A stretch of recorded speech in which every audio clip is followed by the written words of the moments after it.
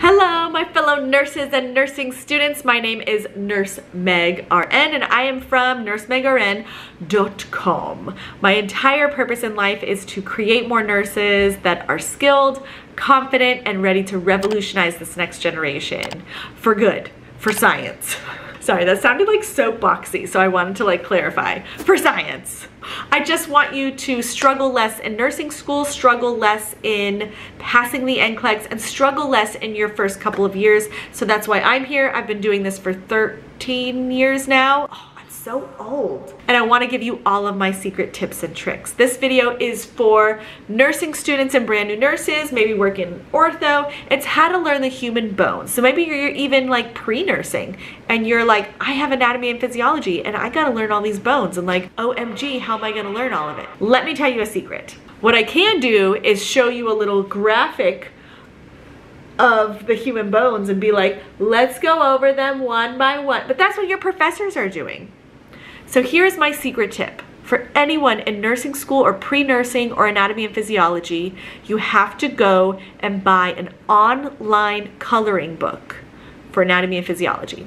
You're gonna be coloring the bones for about a minute each. You're gonna be reading what bone it is. You're gonna see the entire structure. I'm gonna put a link down below, an Amazon link to the one that I think is the best um, anatomy and physiology coloring book.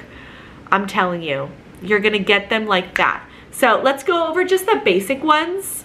Head, cranium, just like the game cranium where you have to use your brain. This is your cranium.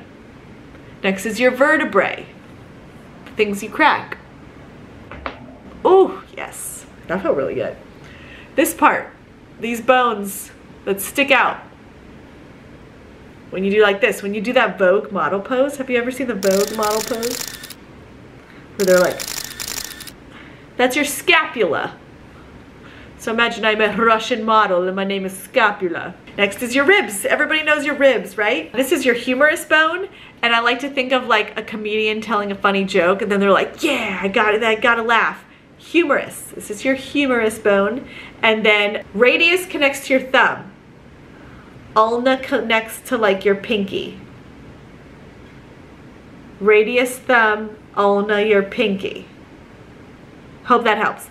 Now this bone that protects your heart, the one that we crack open when we do um, coronary artery bypass surgery, is your sternum. That's the one that we crack open and then we sew together like a little, if you see it in the x-ray, it's like a bunch of like cross-stitched uh, metal. we put it all back together. And then your pelvis, you know, when you put your hands on your hips your pelvis. And then your femur bone is the strongest bone. It's the one that is inside your thighs. It's like the hardest bone to break. And then your patella is the little knee.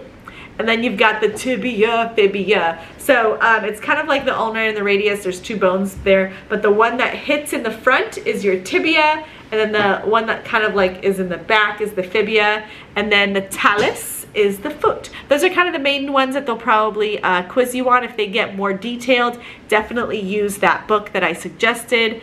Um, I've actually been thinking about creating my own type of like anatomy and physiology coloring book that I can sell, but I haven't done that. So just buy this one on Amazon that I think is very affordable and is fantastic. So good luck in nursing school or uh, pre-nursing school or gosh, if you're an ortho nurse, good for you working with those ortho doctors.